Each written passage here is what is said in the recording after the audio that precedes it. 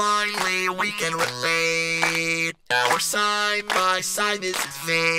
I knew all along we'd find some way to communicate.